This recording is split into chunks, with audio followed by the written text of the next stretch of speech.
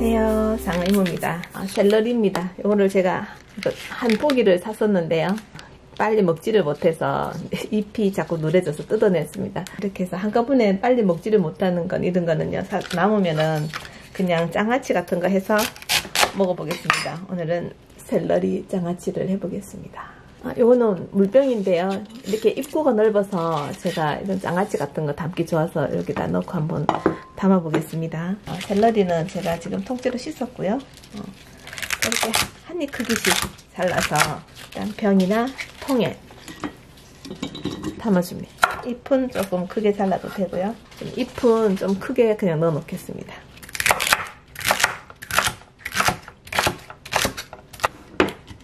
넣어두겠습니다. 여기다가는요 저는 오늘 어, 그 매실청을 활용할 거거든요. 매실청 없으면 그냥 물엿 올리고당 다 됩니다. 자 여기에 식초입니다. 이 식초 50ml 짜리인데요. 이 소주잔이 다이소에서 파는 소주잔인데 50ml 짜리입니다. 그 참소주잔 뭐 이런 거 있죠. 그거는 60ml 짜리고요. 요건 50ml 짜리더라고요. 그 50ml면은 우리 밥 스푼으로 떴을 때 5스푼입니다. 밥 스푼 하나가 거의 10ml 가까이 되거든요 소주잔 두 개 넣었으면 100ml입니다. 진간장도 이걸로 넣는데요. 두 개 넣었습니다. 그리고 요거 매실청을 넣을 건데요. 300ml 넣을 겁니다. 50ml 소주잔으로는 6개 넣습니다.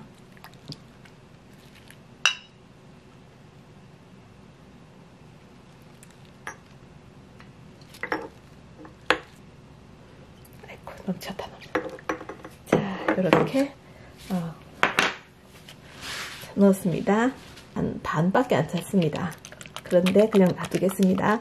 제가 물은 넣지 않, 고요이 샐러리에서 나오는 물을 활용할 거거든요. 그냥 요, 요대로 놔두겠습니다. 우선은 아래쪽이 숨이 적으면 물이 좀 생기니까 시간이 지나니까 샐러리에서 물이 생겨서 또 숨이 죽으면서요. 간장이 이렇게 올라왔습니다. 샐러리는요 좀 두껍기 때문에 아, 간장이 좀 다 스며드는데 좀 시간이 걸립니다. 저는 여기다 오늘 물을 타진 않았습니다. 샐러리에서 나오는 물만 해도 충분할 것 같아서 일단 이렇게 놔뒀습니다.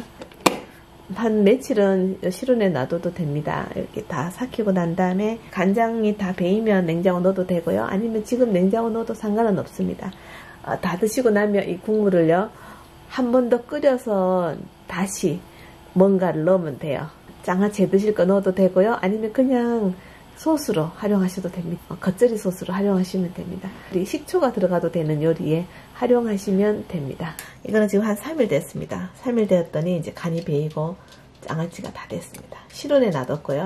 이제부터는 냉장고에 넣어둘 겁니다. 이 샐러리 장아찌는 향이 있습니다. 그냥 일반 장아찌와는 다르게. 근데 어, 먹을만 해요. 저는 맛있던데요. 취향에 따라서는 고, 청양고추도 좀 썰어서 넣고 또 양파도 썰어서 넣고 하면 또 골라 먹는 맛도 있을 것 같아요. 샐러리 장아찌 다 됐습니다. 자, 맨입이지만 먹어보겠습니다. 음, 샐러리 향이 살아있습니다. 음, 샐러리 샐러리 좋아하시는 분들 드시면 정말 좋을 것 같아요. 새콤하고 달콤하고 아주 맛있고 음, 샐러리에서 나온 물이 많이 생기기 때문에 음, 그렇게 간장 맛이 짜진 않습니다. 근데 이런 거는 오래오래 두면 짜지거든요. 그거는 좀 감안해서 나중에 짜지면 여기다 물을 조금 더 섞는 거는 괜찮습니다. 자, 샐러리 장아찌 다 됐습니다. 이거는 제가 아, 샐러리 장아찌를 조금 따로 덜었거든요.